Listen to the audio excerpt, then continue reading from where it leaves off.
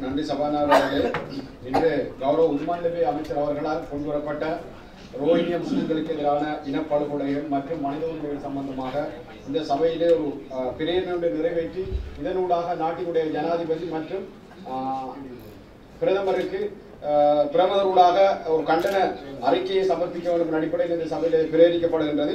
குறிப்பாக கௌரவ சபாநாயகர்களே இந்த ரோஹிங்க முஸ்லிம்களுடைய படுகொலை என்பது அது முஸ்லிம் சமூகம் என்று பாராது நான் இருக்கின்ற ஒரு இனப்படுகொலை ஒரு மனித சமூகத்தை அழிக்கின்ற ஒரு அவல நிலையை காண முடிகின்றது. இந்த அவல நிலை அது எந்த சமூகத்தில் இடம்பெற்றாலும் அவர் அவைகள் சுட்டிக்காட்டப்பட வேண்டும். அவைகளை எடுத்து கூற வேண்டிய பாரிய பொறுப்பு ஒவ்வொரு சமூகத்தை சார்ந்தவர்களுக்கும் அரசை அரசை ஆளுகின்ற ஒரு மாகாண சபையாக இருக்கட்டும் பாராளுமன்றமாக இருக்கட்டும் அவற்றினூட அதை தெரியப்படுத்த வேண்டிய பாரிய பொறுப்பு இருக்கின்றது. அந்த ரீதியிலே இன்று மியான்மர் பிரதேசத்திலே சிறிய பிள்ளைகள் தொடக்கம் கர்ப்பிணி தாய்மார்கள் பெண்கள் வயோதிபர்கள் என்று மிக மோசமான முறையில் வெட்டி கொலை செய்து அவற்றை வீடியோ காட்சி வடிவிலே இன்று முகநூலை திறக்க முடியாத அளவிற்கு இன்று மிக மோசமான நிலைமையிலே எங்களால் கண்ண கண்களால் பார்க்க முடியாத அட்டூழியமான கொலைகள் இன்று இடம்பெறுவதை இன்று நான் நினைக்கிறேன் சர்வதேச மனித உரிமைகள் என்று சொல்லப்படுகிற மனித உரிமைகள் எங்கே இருக்கின்றது? ஐநா சபை எங்கே இருக்கின்றது? அதே போன்று சர்வதேச பிரபல ஊடகங்கள் அதை ஏன் வெளியிடவில்லை? அல் ஜசீராவை தவிர.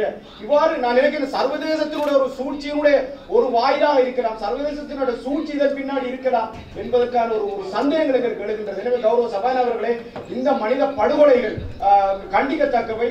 இந்த அரசாங்கத்தில் இருக்கின்ற அரசாங்கம் ஒருபுறமாக இருந்தாலும் அங்கு பெரும்பான்மையாக வாழ்கின்ற காவியுடை தரித்தவர்கள் இன்று ஆயுதத்தை கையிலேந்தி அந்த மனித படுகொலை மேற்கொள்வேன் என்பது மனவேதனை அளிக்கின்றது.